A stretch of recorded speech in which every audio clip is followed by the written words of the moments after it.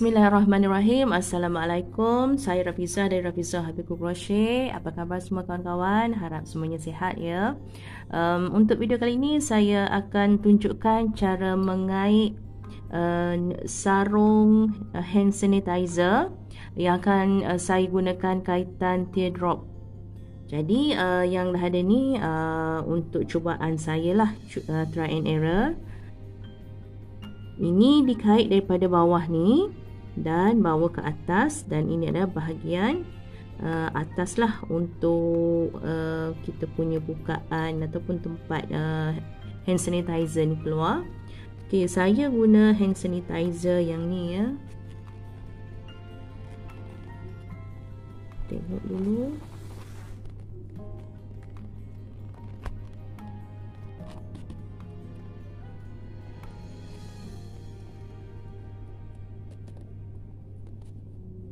Okay, grip cara dia. Saya guna yang ni hygiene. Jadi kalau ada kat rumah yang ini bolehlah uh, terus boleh buat kan untuk diri sendiri tak pun boleh dijual kan. Uh, dia punya uh, sarung lah. Okey kita tengok uh, keperluan. Baiklah untuk sarung hand sanitizer ni kita memerlukan tiga warna benang. Terpulang pada anda pilihan anda. Lebihan benang pun boleh guna ya macam ini ni uh, gunting. Seterusnya jarum kait saiz 1 palang kosong. uh, jarum jahit dan juga sebiji butang baik kita mulakan. Baiklah kita akan mulakan dengan simpulan ataupun slip knot. Dan ni saya dah anggap sebagai satu ya. Satu uh, chain. Dan kita perlukan sebanyak um, uh, sebanyak 29 chain. Satu dua, tiga, empat, lima. Kait sampai habis.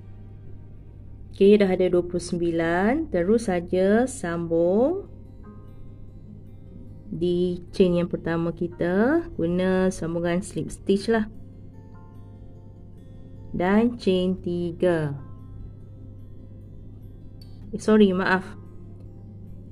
Kita buat dua chain yang bermaksud ini adalah half double crochet. Jadi untuk baris ni, baris pertama ni kita akan buat sebanyak 40 half double crochet. Yang ni kita dah anggap sebagai satu. Terus kait dalam gulung besar ni. Dua half double crochet eh.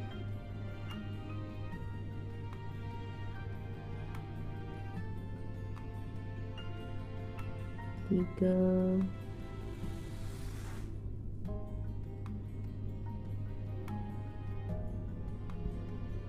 Empat. Lima. Enam. Cukup kan terus empat puluh half double crochet Okey, dah ada 40 half double crochet keliling. Kita akan sambung. Kalau anda ingat tadi, half double crochet pertama kita adalah chain 2. Jadi sekarang sambung di chain yang kedua. Slip stitch dan kita akan bekerja dari sinilah. Okay. Terus dengan chain 3. Satu untuk kerang pertama kita dan masukkan lagi dua half apa dua double crochet dalam ruang yang sama.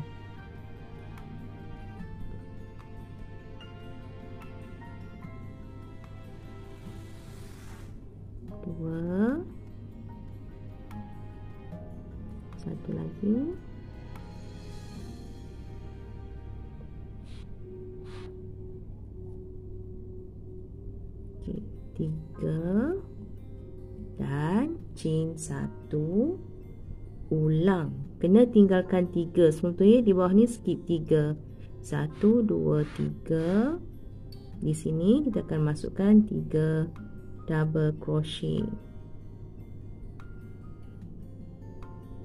Satu dua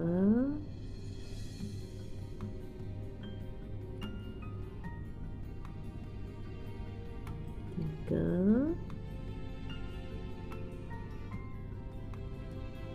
ini baris kedua eh. Chain satu terus ulang sampailah ke hujung sini keliling dengan saya dah ada empat apa uh, chain sorry kerang yang ke 10 kalau kalau keliling ni kita akan ada 10 kerang lah. Chain satu ngam kena skip tiga tadi. Dan terus sambung di chain yang ketiga di sini. Bersedia dengan benang baru. Kereta ni kita kena rajin potong benang ya. Saya belum cuba lagi uh, boleh atau tidak untuk uh, kait tanpa potong benang. Nanti saya cuba kajilah ok slip stitch. Chain sekali. Potong benang Okey, kita akan beralih ke warna yang kedua. Saya akan mula di sini ya.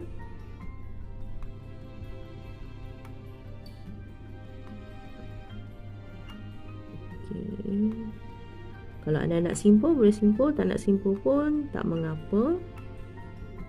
Saya simpul. Terus bawa ke depan. Dan kita akan mula dengan chain 3 satu. Dua tiga. Kalau anda belum mahir boleh rujuk kepada video saya sebelum ni eh. Kat sini pula kita kena guna treble crochet dua kali lilit. Dan kita akan ambil yang di bawah sini. Ambil yang tengah-tengah. Kalau sini kita skip tadi tiga kan ambil yang kedua. Ok kau je belakang tu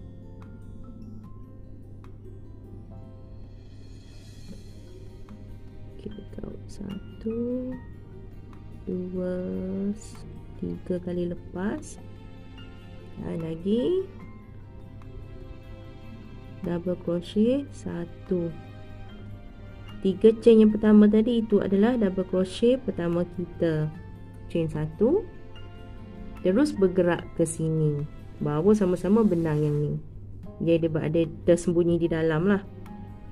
Double crochet treble ambil tengah-tengah sini.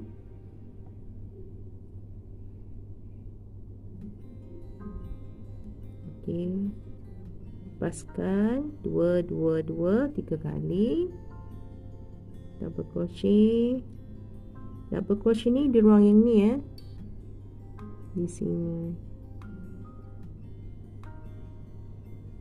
Okey, ulang saja chain satu, double crochet di sebelahnya dalam space uh, chain satu. Kita sekarang ni di langkah yang ketiga, step yang ketiga sekarang. Oh sorry. Dua kali lilit, treble.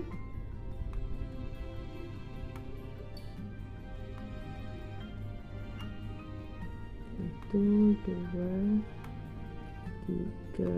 Okey, double crochet kembali. Terus ulang kita punya kerja kita sampailah ke hujung sini pula. Okey, di hujung baris yang ketiga, kerang ke-10 saya kat sini. Sambung macam tadi juga.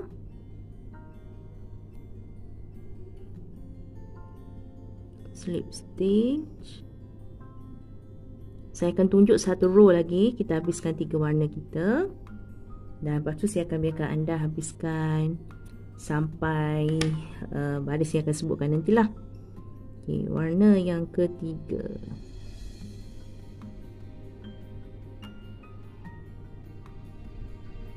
Ini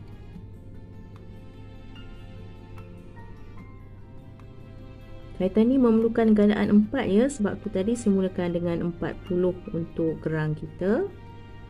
Tapak tu terpulang pada anda, saya buat 29. Kalau anda rasa ketat, boleh sesuaikan ni lah, tambah lagi satu. Tak perlu banyak nanti tercabut pula apa kita punya botol tu. Okey, chain 3, dua kali lilit, treble crochet. Dan kat sini lagi mudah Ambil yang tengah-tengah tu Tusuk ha, Ini tolak ke kanan sikit lah Sebab nanti dia kita makan macam keliru pula Okey di sini tengok belakang Okey, nampak tak? Itu tadi saya kata uh, kita kena tolak ke kanan sikit yang ni. Simpulan tu. Kena lebih ke kanan. Nak memudahkan urusan kerja kita lah.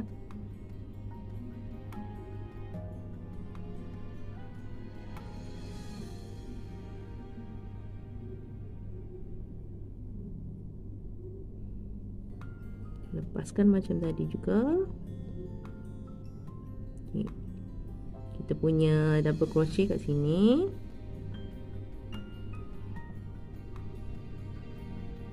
chain satu. Ulang je cara kita bekerja. Okay, dalam ruang ni double crochet satu. Treble crochet ambil yang tengah-tengah di bawah ni. Baut ke depan. Okey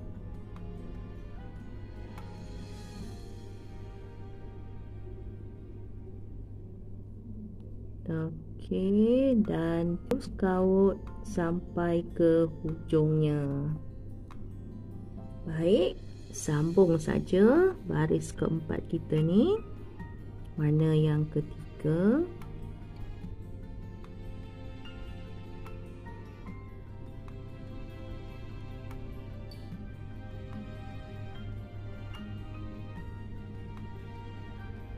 Hitung benang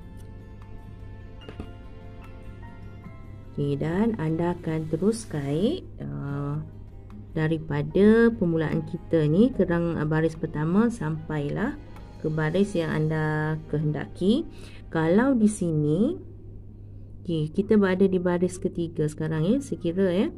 Kita kena kait kerang ni ulang warna yang uh, kita nak. Sampailah ke baris 1 2 3 4 5 6 7 8 okey 8 di sini 9 10 okey jadi kena uh, baris kerang ni sampailah kira-kira kita 10 uh, untuk kerang. Baik, di kerang kita yang 10, kita sebenarnya dah berada di baris yang ke-11 termasuk dengan yang kita buat 40 half double crochet tadi Okey, ini yang terakhir baris ke sebelah saya.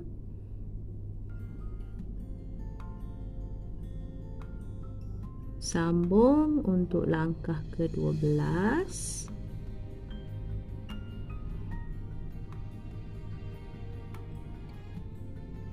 Okey, dah siap sambung.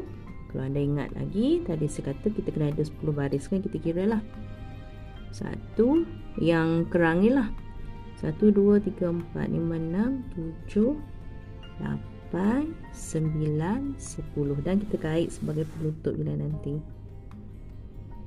Baik, sebagai penutupnya Saya akan buat kait keliling Half double crochet Untuk baris yang ke 12 kita. Macam tadi mula-mula kita tadi chain 2 ini adalah uh, pertama double crochet kita. Dan untuk setiap yang kerang kita ni pastikan ada satu half double crochet untuk setiap satu stitch jadi kat sini kena ada tiga half double crochet.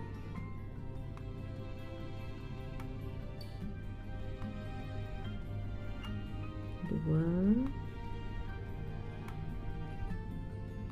tiga. Dan di dalam ruang besar juga buat half double crochet tetapi akan panjang dan capai yang di tengah-tengah ni. Ambil yang tengah-tengah. Boleh juga kalau tak nak half double crochet. Hmm, mungkin boleh guna double crochet juga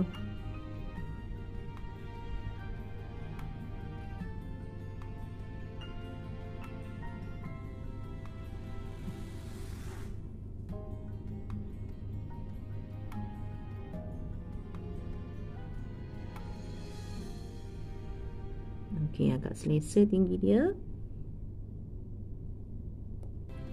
Habiskan kat situ. Terus untuk tiga uh, half double crochet kita pula. Sini satu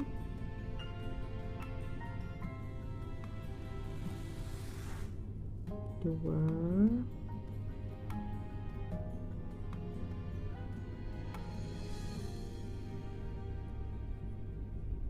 tiga kat sini.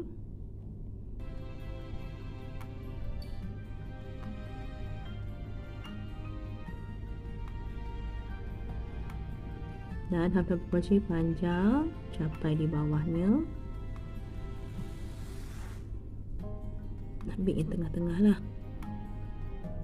Terus kait half double crochet sampailah ke penghujung sini dan half double crochet yang panjang kalau betul kiraan anda ini adalah half double half double crochet yang ke-40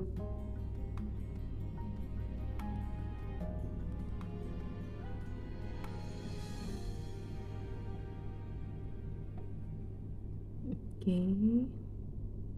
Sambung untuk ke baris yang ke-13.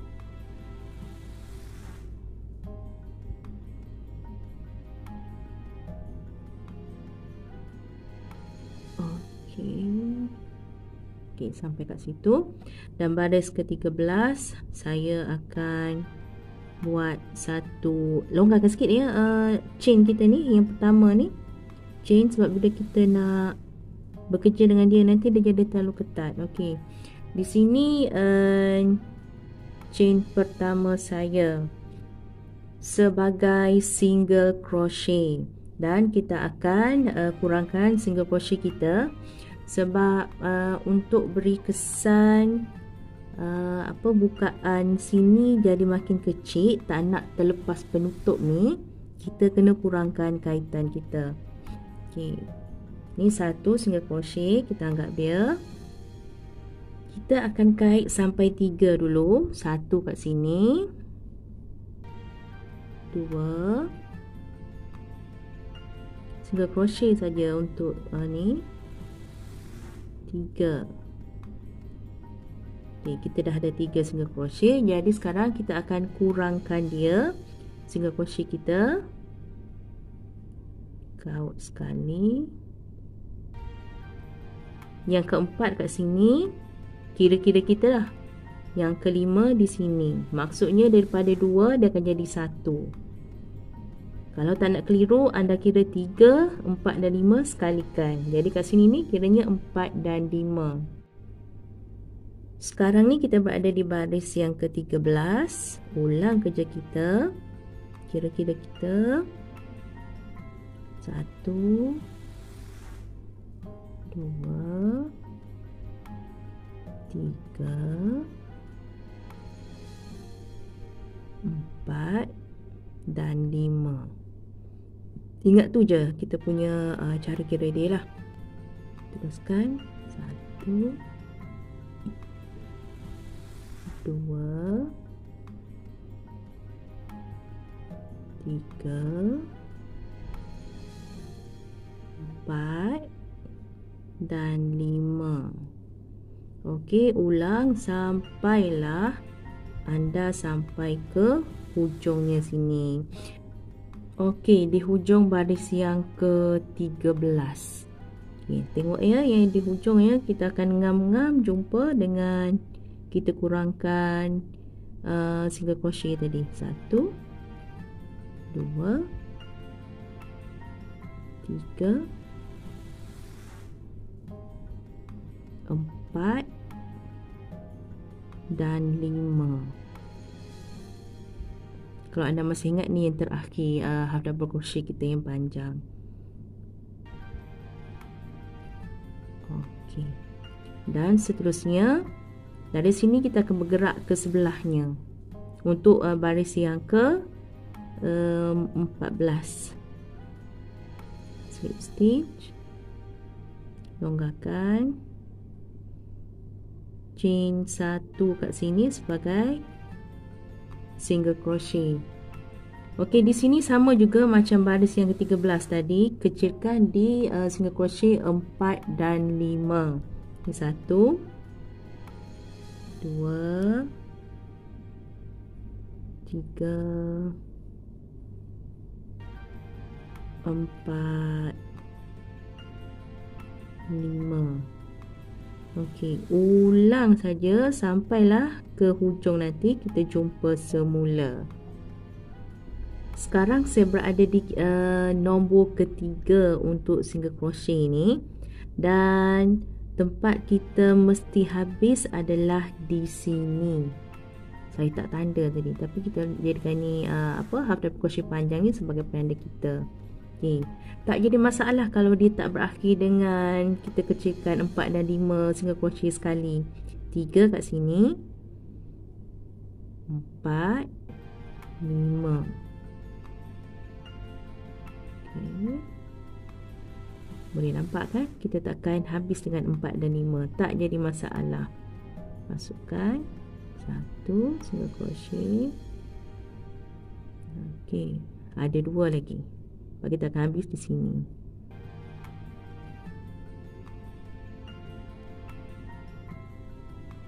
Okey, kita akan habiskan di sini. Betul-betul di atas double crochet yang uh, terakhir tadi. Terus potong benang.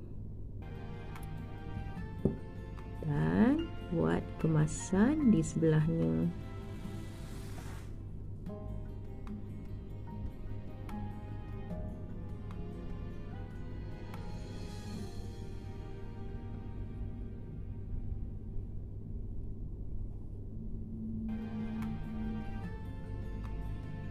Jadi kat situ siap untuk bahagian atas uh, botol uh, hand sanitizer kita dan kita akan beralih ke bahagian bawah untuk tangkai ataupun pemegangnya.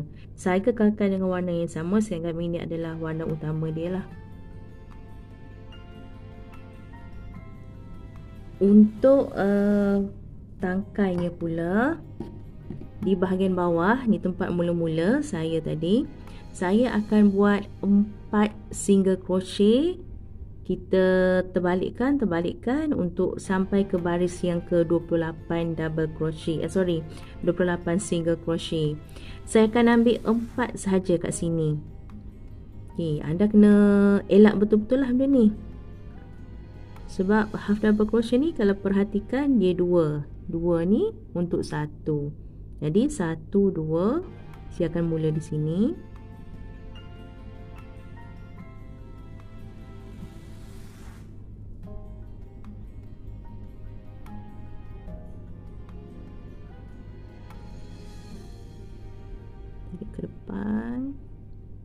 Okey, kita mula dengan kira-kira satu untuk single crochet kita. Tapi yang ni kita chain je lah dulu. Satu, chain longgar. Lepas tu tengah-tengah ni. Dua. Okey, gap kat sini yang ketiga. Nanti kita boleh tolak dia lah Dia akan jadi rapat lah.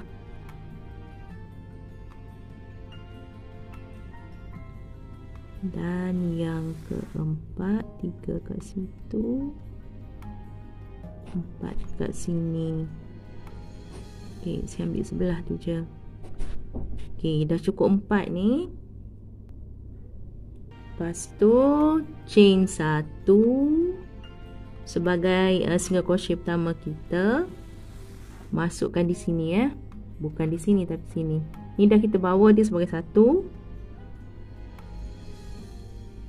Dua. Tiga.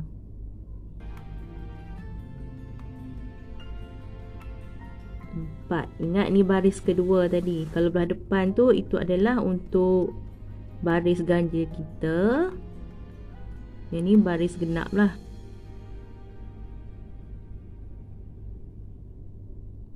Ni single crochet ni kalau anda mula tadi letak dua pun tak apa. Saya biasanya saya mula dengan dua tapi saya cuba nak buat satu. Inilah dia punya susah dia kalau satu Okey. Baris kedua. Baris ketiga. Chain satu dulu. Dan. Satu, dua.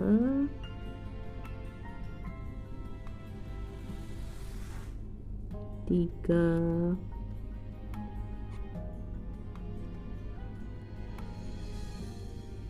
empat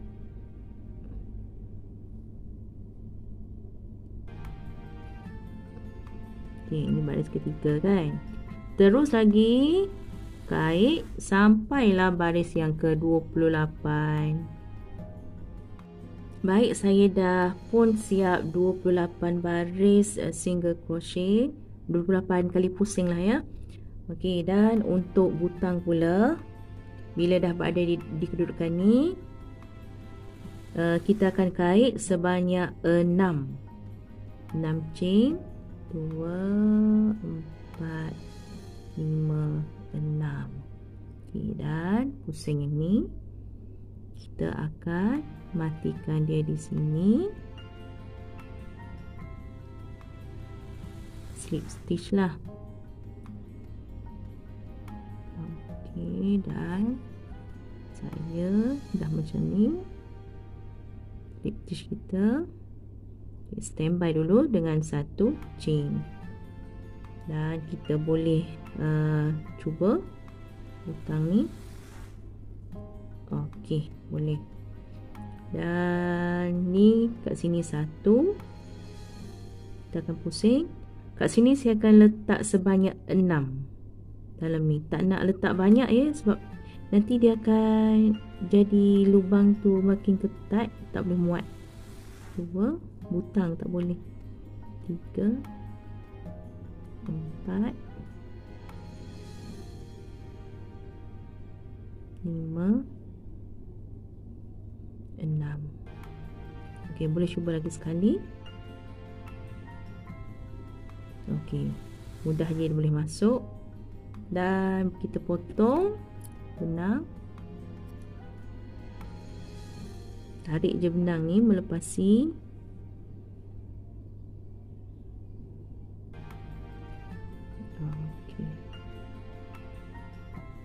Baik, saya akan mula uh, untuk menjahit. Ni uh, saya akan terus masukkan jarum saja di sini. Jarum jahit. Jangan pening ya, saya mengait tangan kanan. Selalu saya bagi tahu, saya menjahit dengan tangan kiri. Kalau saya terbalikkan video ni nanti pening pula kawan-kawan kita saya. Selalunya kalau yang macam ni Saya akan bawa dia ke bawah dulu. Sebelum tu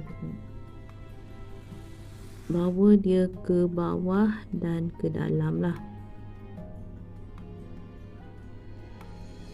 Ke bawah ni sebab kesan ni dia akan uh, tertarik ke bawah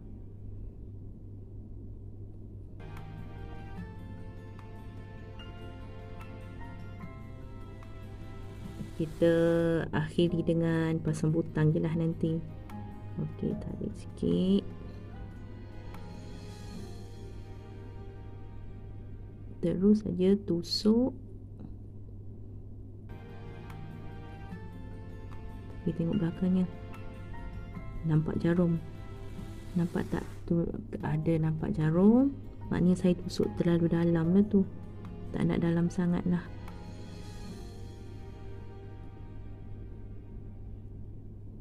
tengok lagi. Okey boleh tu.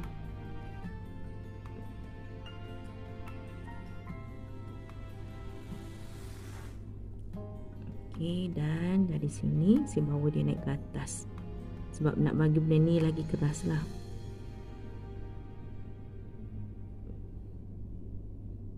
Agak-agak lah je sampai uh, jarum tu nampak di luar. Kalau apa benang warna yang berbeza dengan tapak dia ni ha, ketara lah nampak kan? Okay, saya habiskan kat sini lah.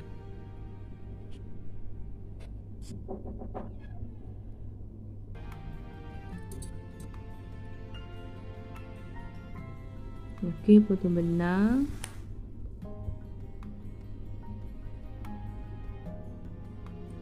Baik, sekarang kita akan uh, jahit butang tetapi saya nak ingatkan uh, kalau anda masih ingat kita ada 10 kerang kan setiap baris. Jadi benda tu penting untuk kita tentukan di mana uh, center untuk kita letak butang. Okey, kalau di sini kita anggap yang ni lah. uh, tengah bagi yang ni. Okay. Jadi akan ada 1, 2, 3, 4, 5. Saya ambil baris yang kedua ni, kerang pertama kita. Di sini ada 5. Tengok pula di sini. 1, 2, 3, 4, 5. Okey, maknanya kiri dah kanan dah seimbang. Dengan itu, bermaksud inilah tengah untuk kita letak butang kita. Jadi bolehlah kita jahit. Terpulang pada anda lah mungkin nak jahit di sini atau nak ke bawah sikit ke. Tak jadi masalah. Selesa bagi anda, ha, itulah tempat dia.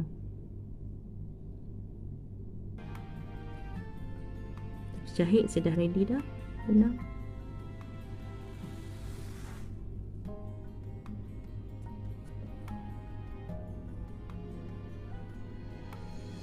Okay, yang ni saya tak uh, rapat sebab saya akan ikat nanti. Saya akan ikat hujung-hujung nanti. Sebagai simpul lah.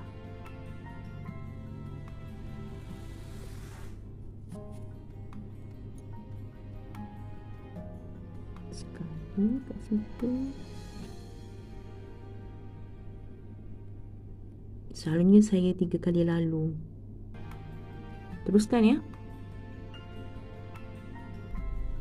Okey, saya dah jahit butang tiga kali lalu tadi. Dan yang saya kata saya ikat tu. Macam ni lah maksud saya. Ruang kita sempit kan ni. Susah sikit. Okey. Simple je. Dengan benang yang saya lebihkan tadi. Okey, simple je benang kita. Sekali. Dua kali pun dah cukup lah.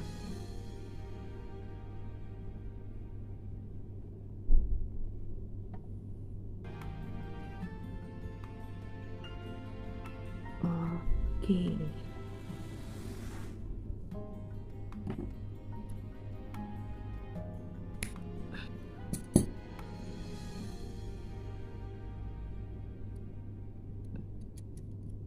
Potonglah sikit.